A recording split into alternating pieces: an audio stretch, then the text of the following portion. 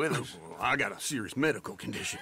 yes, you are a compulsive liar. Uh, no need to be like that.